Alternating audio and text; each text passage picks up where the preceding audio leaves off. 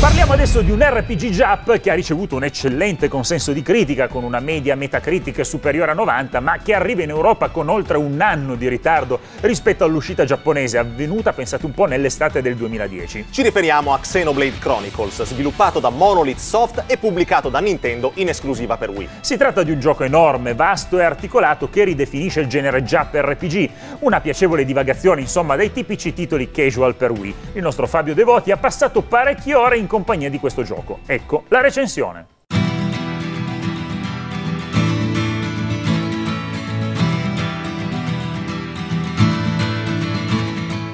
Molto tempo fa il mondo non era altro che un oceano racchiuso in un cielo infinito. Poi all'improvviso fecero la loro comparsa Bionis e Mechanis, due divinità impegnate in una battaglia senza fine che le porterà ad esaurire tutta la propria linfa vitale proprio nell'istante del colpo finale. Miliardi di anni dopo, dai loro resti, nasceranno due forme di vita, pure queste in lotta tra loro. Gli Homs, popolazione simile agli esseri umani, e i Mechan, dei robot affamati di carne umana. Dopo innumerevoli scontri, gli Homs riusciranno finalmente a trovare l'unica arma in grado di distruggere gli odiati nemici, una spada misteriosa chiamata Monade. E proprio attorno a questo oggetto leggendario ruoterà la storia di quello che è senza dubbio uno dei migliori JRPG dell'attuale generazione.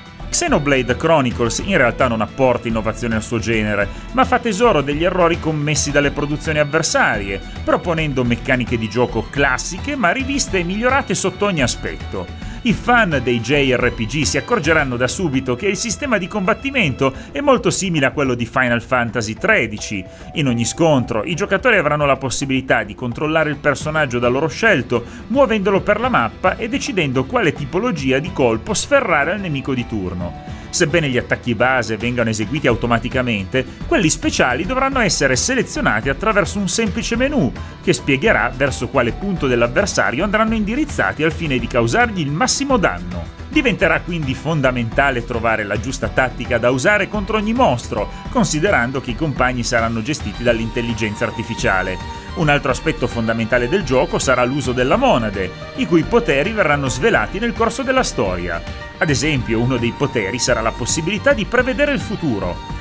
Quando uno dei nostri personaggi sarà in procinto di subire un colpo mortale, si attiverà infatti un brevissimo filmato che anticiperà questo avvenimento, permettendo così di agire per scongiurarlo. Apprendere al meglio le finezze del sistema di combattimento di Xenoblade Chronicles richiederà alcune ore di pratica, Monolith Soft ha dato molta importanza anche al fattore esplorazione, che porterà a visitare la mappa in lungo e in largo alla ricerca di nuovi mostri da sconfiggere, di oggetti nascosti da trovare e di nuove missioni da affrontare. A differenza di quanto avviene con altri giochi di ruolo, in Xenoblade per completare una missione non si sarà costretti a tornare dal personaggio che ce l'aveva affidata. Inoltre si potrà salvare la partita in qualunque momento. A livello tecnico, Xenoblade Chronicles non è perfetto. L'impatto visivo, sebbene al top tra i titoli Wii, soffre il confronto con i titoli usciti su Xbox e PS3 a causa delle limitazioni hardware della console Nintendo.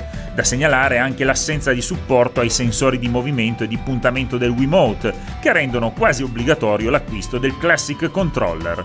Un plauso invece per il comparto audio, che raggiunge l'eccellenza grazie al lavoro di Mitsuda e Shimomura, cui si devono anche le musiche di Final Fantasy e Kingdom Hearts. La decisione di Nintendo di non localizzare in italiano i dialoghi di gioco ricorrendo unicamente ai sottotitoli farà felici quegli utenti spaventati dai doppiaggi mal eseguiti.